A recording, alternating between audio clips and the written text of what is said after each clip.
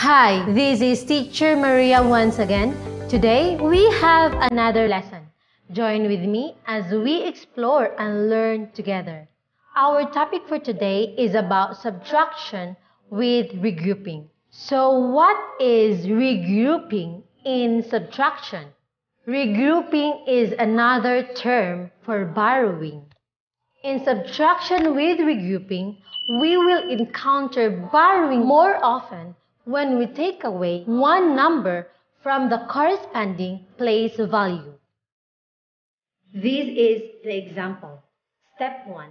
Arrange the numbers according to their place value with a greater number on top.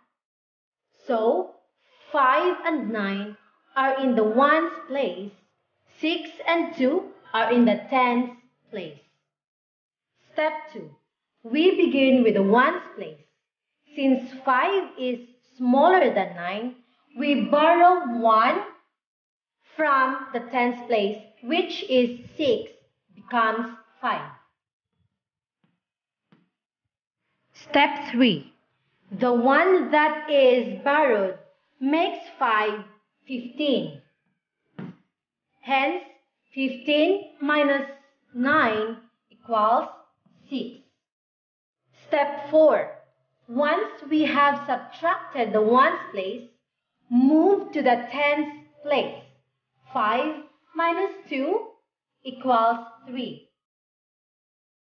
The difference between 65 and 29 is 36.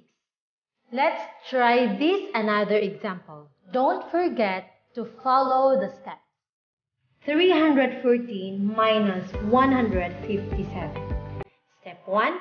Arrange the numbers according to their place value with greater number on top. 4 and 7 are at the ones place. 1 and 5 are at the tens place. 3 and 1 are at the hundreds place. Step 2. We begin with the ones place.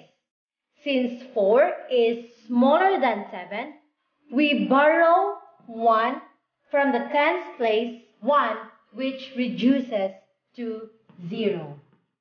The one that is borrowed makes 4 as 14. Hence, 4 minus 7 equals 7. Step 4. Follow step 2 again with the tens and hundreds place, borrowing 1 from each of the numbers which make it 3 at the hundreds place will reduce to 2 and 0 at the tens place makes it 10. 0 will become 10 and this 3 will become 2. 10 minus 5 equals 5 and this 3 becomes 2 already, right? So 2 minus 1 equals 1.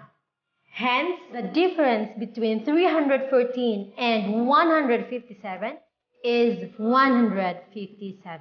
We can always check our answer by adding the subtrahend and the difference to get the minuend as addition is the inverse of subtraction. Keep in mind that we use regrouping in subtraction when the minuend is smaller than the subtrahend. Again, regrouping in subtraction is another term for borrowing. In Deuteronomy 12 verse 32, Whatever I command you, you shall be careful to do. You shall not add to or take away from it. Thank you for watching.